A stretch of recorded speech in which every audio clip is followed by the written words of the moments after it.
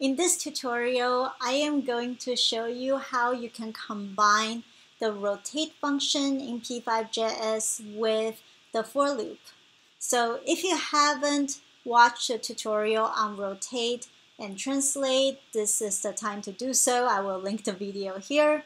Um, once you have watched that video, you can come back and watch this one. So what I wanted to sort of address is how the rotate function as well as the translate function are, are functions that are additive. So what do I mean by additive? Here, um, if I draw a rectangle and I'm going to say my rectangle is going to be 0, 0, 50, 50, and I'm going to hit play. Um, no surprise here, right? So uh, a rectangle on the upper left. If I put a translate right before the rectangle, and if I say 50, 50 to translate, translate the, the 0, 0 orientation of the canvas from, from the upper left hand side corner to 50, 50. If I hit play, the whole rectangle is going to shift and go down by 50-50, right? What happens if I create another translate function that again say 50-50? Um, if I hit play, it's going to move the rectangle to 100-100, right? If I do minus 50-50, it's going to bring it all the way back. And the reason for that is because the translate function is additive. So it's not going to say, you know, like on line 9, forget what line 8 said. Instead, it's going to do things in addition to what, you know, what, what's being instructed in the translate in line 8. Okay, so um, with this in mind, knowing that translate is additive, Let's take a look at rotate. Um, so we are actually going to use the degree mode here. We're going to say angle mode degrees. And here I am going to say rotate. We're going to rotate 45 degree first. Oh, it's, it's a little off-centered.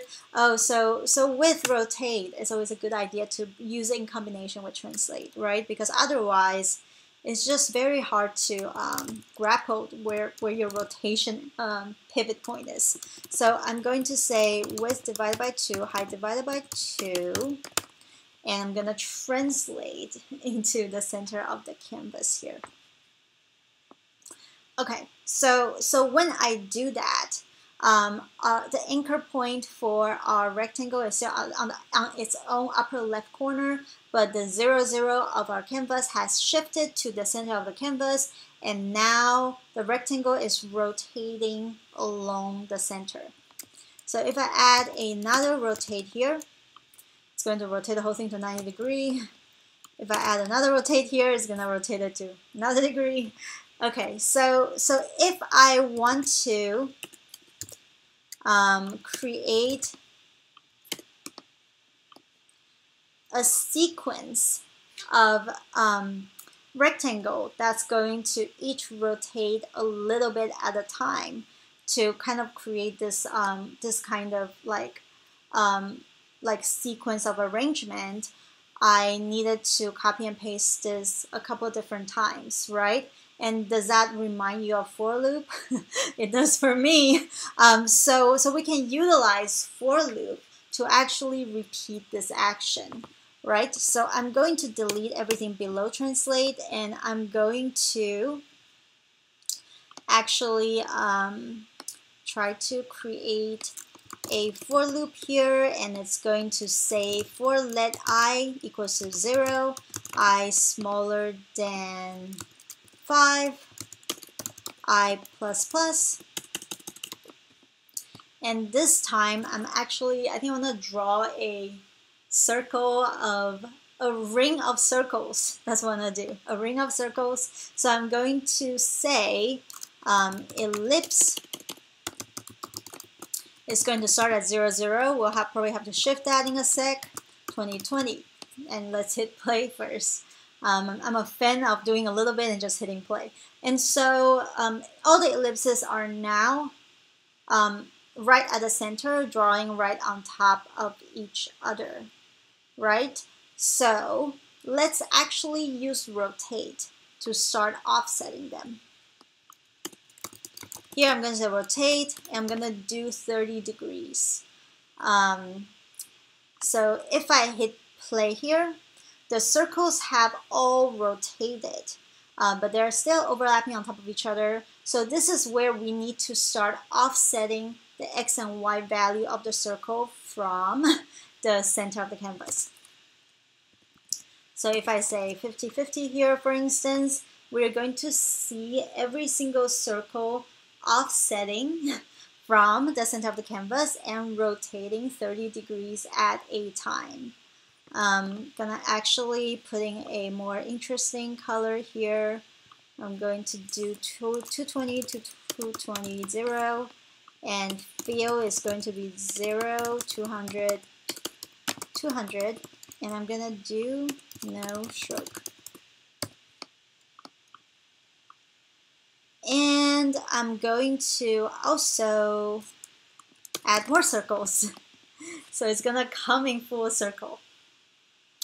So, so what, and, and obviously it's good practice to put, put push and pop before and after this because otherwise um, we, you know, drawing other shape might start to get confusing. So, so okay, this is great.